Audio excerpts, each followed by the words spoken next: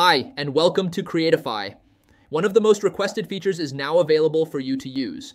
You can now change the accent of your selected avatar when using Creatify tools, including the URL to video ad maker, AI avatar, and text to speech.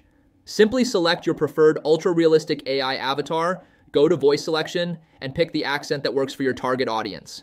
Each voice is given a new accent that matches its persona, so select the avatar that best fits your target region.